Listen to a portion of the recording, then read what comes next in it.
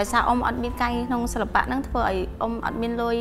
ច្រើនដូចមុនឬក៏យ៉ាងម៉េចអ៊ំបើនិយាយទៅអ៊ំ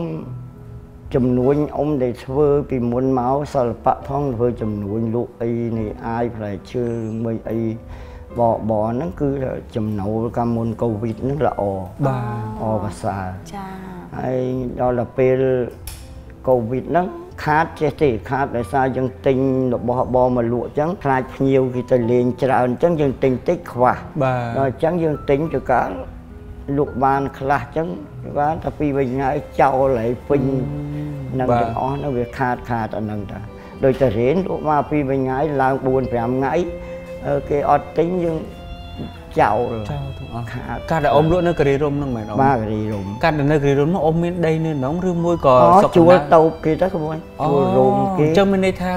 ពីភ្នំពេញទៅនឹងគឺសัตว์ដណ្ដែតទៅដល់ទីនោះទេមិនមែនថាត្រឡប់ទៅស្រុកកណ្ដាលទៅលក់ដូរមានដីមានអីនោះទេអត់ទេជួលរោងគេអូ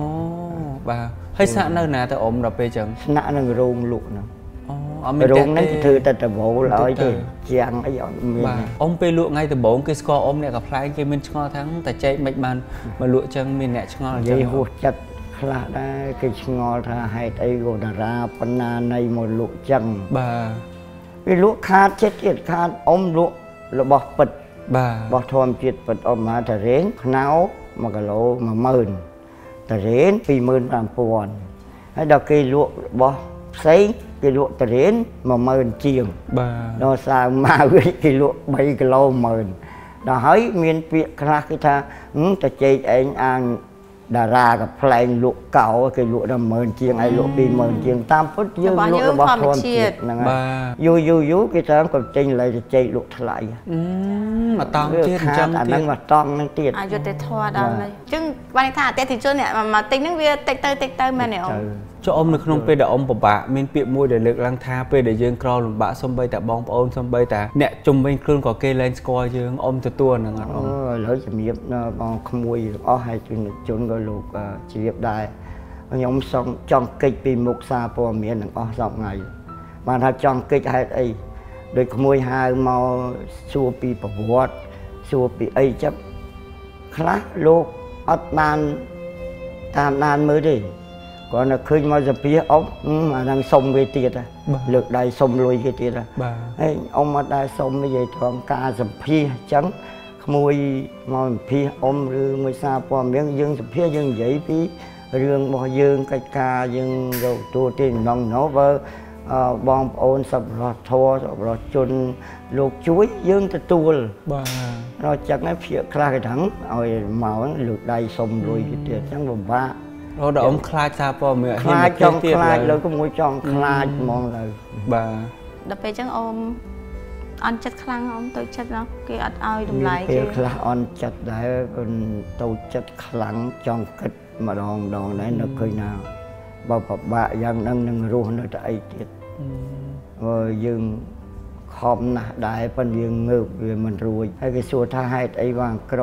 ពីយើងសិល្បៈពីមុននោះក្មួយដឹងហើយក្នុង សេវាអីអ៊ីនធឺណិតក៏អត់ស្អីក៏អត់ទូរស័ព្ទក៏អត់ស្អីក៏អត់មកពី account មកពីការវិញតែជន់ឆៃពៅគេកាប់ពៅដាំបន្លែឲ្យគេបានលុយបាទហើយ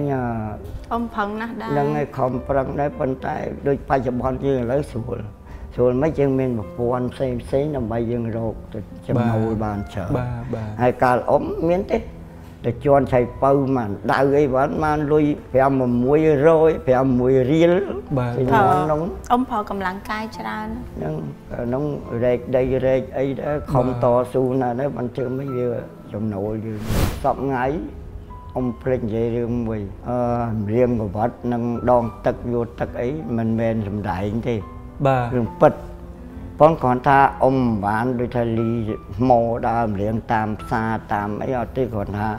នៅក្នុងភូមិក្នុងអីមួយភូមិពីរភូមិអីចឹងគ្រូសាក៏អត់នៅសួរខ្ញុំទៅនេអត់បាទហើយខ្ញុំក៏ មួយអំពីគាត់ថាខ្ញុំមិនតាំងខ្លួនណាអញតារាអញល្បីប៉ុណ្ណាទៅលៀងកវត្តអីអត់ទេលៀងដងបាន5000នេះដែរហ្នឹងបាទញ៉ៃជួកាគេថាចេញនេះទៅបូមទឹកឲ្យទៅយើងគាត់បូមទឹកយូរដាក់នេះឲ្យ4 5000ដែរណាចាធ្វើទៅការងារអ្វីខ្ញុំឃើញថាសុំបីតការងារអ្វីក៏ឲ្យតម្លៃមនុស្សដែរបាទអញ្ចឹងគេមើលមកយើងគេមិនថាយើងរារាអីមក រែកទឹករែកផុកគេមិនទេគេមានថាអាណិតគាត់ទេបាទគាត់បីប៉ុណ្ណាគាត់នៅធ្វើសពកិច្ចការងារបាទហ្នឹងហើយហើយអ្នកខ្លះថាសំដែងតាមពិតទៅអ្នកដែលធ្វើទៅយកព័ត៌មានហ្នឹងគាត់ចង់ដឹងជីវិតយើងដូចក្មួយអញ្ចឹងគេថតតាមដំណើរយើងសពថ្ងៃហ្នឹងធ្វើអីបាទអញ្ចឹង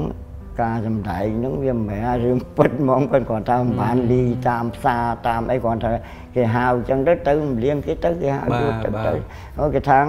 នេះឥឡូវទៅនេះអត់បងអើយទៅជួយកាប់ជ្រុងស្រែតិចអីតិចគេឲ្យលុយយើងតើគេមានហៅយ៉ាងនេះអញ្ចឹងទៅធ្វើគេទៅយើងនៅផ្ទះក៏មិនដឹងធ្វើអីបាទនៅរាល់ថ្ងៃហ្នឹងជីវភាពរាល់ថ្ងៃវាគ្រាន់តែដូចជំរាបក្មួយម៉ោង2កន្លះយប់ភ្ញាក់ហើយធ្វើបងភ្ញាក់ហើយរាល់យប់នេះ ប៉ុន្តែក្នុងជីវិតជាការនឹងអង្គុយគិតម្នាក់ឯងតែគិតថាអញហើយបើបានលេងវិញដឹងអយ៉ាងណានឹកឃើញនងដងនឹកឃើញថាអកំបាំងពីពិភពសិល្បៈនៅជាមួយមនុស្សចាស់ច្រើនណាស់បាទបាទអបាទទី1ប្រពៃណីវប្បធម៌អរិយធម៌អឺគាត់ចេះច្រើនណាស់បាទគាត់ដឹងប៉ុន្តែហេតុអីទៅថាយើងអត់ដឹងពីគាត់វិញទេអត់ដឹងថាគាត់នឹង មានប្រពៃណីអីគាត់នឹងគាត់ចេះផ្នែកអីអញ្ចឹងគាត់ពេលដែលគាត់ស្លាប់ទៅពូស្ដាយណែថាដូចអ៊ំអញ្ចឹងអ៊ំមានខ្លះអញ្ចឹងដល់ពីស្លាប់ទៅយកទៅបន្តិចទៅ មួយនោះស្លាប់ទៅយកទៅបន្តិចទៅយូរយូរស្ដាយថាដល់ចុងក្រោយទៅខ្លាចក្មេងអត់ដឹងបាទឥឡូវសួរក្មេងថាអឺប្រពៃណីចូលឆ្នាំយើងមានប្រមាណមុខវាដឹងតែប្រមាណមុខហ្នឹងអញ្ចឹងតែពេលនេះចូលឆ្នាំមកនិយាយទៅច្រើនណាបាទច្រើនមុខអញ្ចឹងចាស់ចាស់គាត់ដឹងបាទដល់យើងអត់ទៅនេះដែរនោមពោចេះដែរនោមពោក្មួយគ្រាន់ថាចង់ឲ្យចាស់ចាស់ហ្នឹងគាត់បញ្ចេញស្នាដៃគាត់ខ្លះ